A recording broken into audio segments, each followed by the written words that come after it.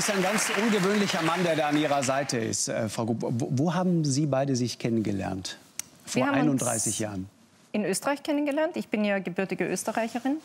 Und wir haben uns in der Steiermark kennengelernt. Mein Mann war auf der Auerhahnjagd und hat auf der Nachbarjagd meines Vaters einen Auerhahn geschossen. Und tagsüber ist dann jemanden auch immer etwas langweilig. Und dann kam er auf die Jagd meines Vaters, hat sich dort die Trophäen angeschaut und ich war dann zufällig auch da. Und so haben wir uns damals kennengelernt. Was war das für eine Situation? Warum waren Sie auf Auerhahnjagd? Das war, ist ein jagdliches Erlebnis und ich äh, wollte einfach auch mal dieses Erlebnis mitmachen und hatte da mich gefra habe gefragt, wo man einen Auerhahn mhm. schießen kann und das habe in, Öst in Deutschland ist er ja geschont und in Österreich äh, gibt es einen Abschuss und das habe ich dann dort in der Nachbarjagd meines Schwiegervaters habe ich dann dort äh, die Gelegenheit gefunden und irgendwann hat er gesagt, ob ich die Trophäen beim, beim Jäger, dem, des Baron von Holläufer anschauen wollte. Und da habe ich gesagt, ja, die Trophäen. Und die waren sehr interessant. Und dann kam mein späterer Schwiegervater dazu und hat uns noch zur Tasse Kaffee eingeladen.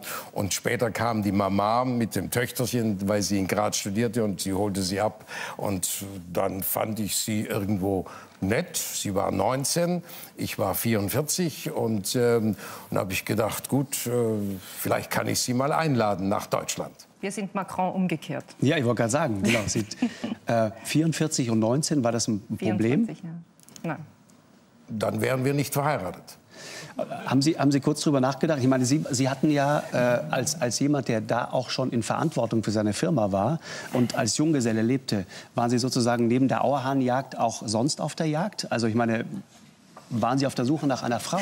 Ähm, ja, gut, das könnte man so auslegen. Aber ich sage jetzt mal, als Junggeselle ist man ja nicht ganz untätig. Und man schaut immer mal, wo es irgendwo nette Damen gibt. Ja. Aber ich war prinzipiell nicht geeignet, unbedingt zu heiraten. Ich war noch, habe noch mit 40 geträumt, ich sei verheiratet. Dann bin ich schweißgebadet aufgewacht und äh, dachte im Traum, das Leben ist vorbei. Aber, äh, aber dann war für mich auch klar, irgendwann kurz danach, dass ich beruflich Erfolg haben kann, aber mhm. ich muss mich auch der Aufgabe einer Familie stellen, denn sonst hätte ich privat versagt. Denn das ist eine ganz große Aufgabe, auch eine Familie zu gründen und für eine Familie eine Verantwortung zu übernehmen. Ich habe allerdings gesagt, egal wie alt ich bin, meine Frau muss immer Anfang 20 sein. Äh, weil ich, äh, ja, das war, war so, weil das ich gesagt habe... für Sie ja schön, aber für die Frau vielleicht nicht dann, wenn man ja, 60 für sie ist. war es auch nicht so schlecht, weil sie, sie passte sich ja dann an. Und äh, ich habe das deshalb gesagt, weil ich gesagt habe, sie muss ja nach Borladingen. Und, äh, da, wo, ich, wo Sie Ihren Firmensitz haben, ja. Und äh, wenn Sie schon zig alles erlebt hat, dann wird das immer schwieriger. Also muss ich sie so haben, wo sie dann erst was Neues erleben kann und dann ist es immer einfach. Sie ist jung und kann dann in das Leben hineinwachsen. Wollen wir das so haben wir das so gemacht. Lassen? Bitte? Wollen wir das wirklich so stehen lassen? Ja, das, das dürfen Sie so nein, nein, stehen lassen, weil ich natürlich auch die Flexibilität hatte, die, die, mein Mann nicht hatte. Mein Mann hatte die Firma, mein Mann hat Verantwortung gehabt und ich konnte eben auch noch meinen Wohnsitz wechseln ja. und habe das dann auch freiwillig getan. Also nicht, dass man jetzt gemeint hat, ich wäre jetzt von Österreich irgendwo hingezerrt worden. Nein, ich habe das freiwillig gemacht. Aber ich war eben noch jung ja. und konnte mich auch auf eine neue Lebenssituation mhm. einstellen. Ja. Äh, Und die war ja durchwegs auch interessant, die neue Lebenssituation. Also die war jetzt auch nicht schlecht. Ja, war das Liebe auf den ersten Blick zwischen Ihnen beiden? Nein. So kann man das nicht sagen.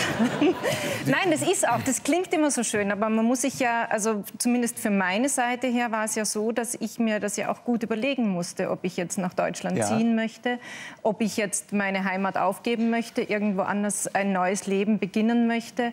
Und daher sage ich, muss man das auch abwägen. Ja? Man muss sich ja auch erkundigen, äh, gibt es irgendwo welche kleinen Grupps oder sonst irgendetwas. Oder ja, das war ja, der, ja, so ist es, genau. Und das war ja dann vielleicht vielleicht auch ein Kriterium. Und ich musste ja mein Leben aufgeben. Also muss man das auch ganz genau anschauen. Ja, speziell bei so einem aktiven Junggesellen Was aber nicht da heißt, dass, äh, dass danach, danach, wenn man sich dann besser kennenlernt. Und damit ist es vielleicht auch etwas beständiger dann manchmal. Was hat Sie denn dann so überzeugt an diesem Mann?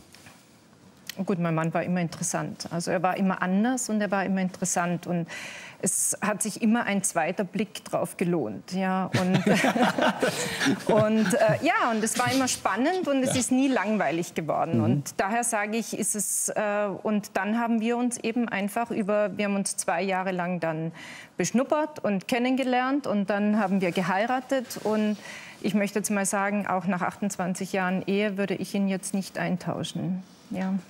Das, äh